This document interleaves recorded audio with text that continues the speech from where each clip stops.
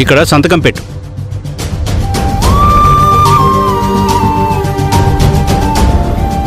సరే ఉంటాను సేటు. మంచిది. రంగమ్మమ్మ ఇదిగో ఇందులో డెబ్బై ఐదు వేలు ఉన్నాయి. అల్లుడు? తీసుకో మామ. ఆ, నిన్ను హాస్పిటల్ దగ్గర దించేస్తాను. పద. ఇంత డబ్బు ఇప్పటికిప్పుడు ఎలా అల్లుడు?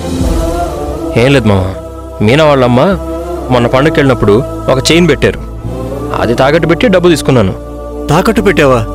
ఎందుకు అల్లుడు అలా చేసావు ఏంటి మామ తాకట్టే కదా? నెమ్మదిగా తీర్చుకోవచ్చులే. ముందు ఆపరేషన్ కానీ కడుపున పుట్టిన బిడ్డలే ఉన్నా సాయం చేయని రోజుల్లో నా కోసం చేయిన్ తాకట్టు పెట్టి మరీ ఇచ్చావా?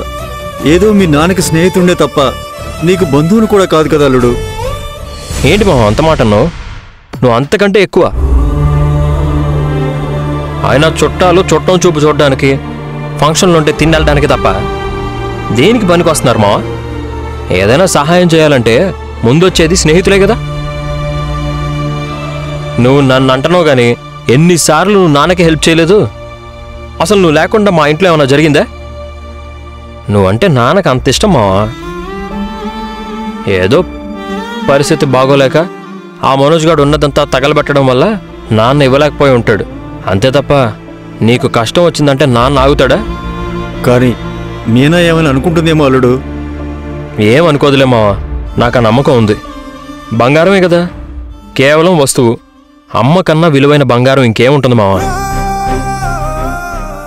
నీకు థ్యాంక్స్ చెప్పడం తప్ప ఏం చేయగలను అల్లుడు. నీకు వీలైనంత త్వరగా నీకు డబ్బు తిరిగి ఇచ్చేస్తాను. అదేమన్నా గొప్ప విషయమా? ఇప్పుడు నీకు పిల్లలుంటే చూసుకోరా చెప్పు. ఎలాగో నేను నెమ్మదిగా విడిమిచ్చేస్తా నువ్వు ఇవ్వగలిగినప్పుడు ఇవ్వు. లేదంటే లేదు.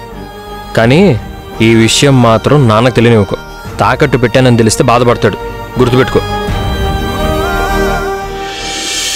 సత్యం బాలు అలాంటి వాడు కాదురా. వాడిని తప్పుగా అనుకోకు.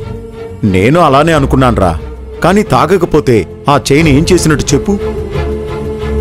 ఎంత అడిగినా చెప్పకపోతే అర్థమేంటి? పాపం వాళ్ళ అమ్మగారు పెట్టిన చైన్ అని మీనా ఎంత ఫీల్ అయిందో తెలుసా? సర్లేరా నీ కష్టాలు నీకున్నాయి. ఇవన్నీ నీకెందుకు? అమ్మకిప్పుడు బాగానే ఉంది కదా? బాగానే ఉందిరా. వీలు చూసుకుని ఒకసారి వస్తా. వెళ్ళి చూసొద్దాం. సరేరా ఎక్కడికో వెళ్తున్నట్టున్నావు. వెళ్ళిరా.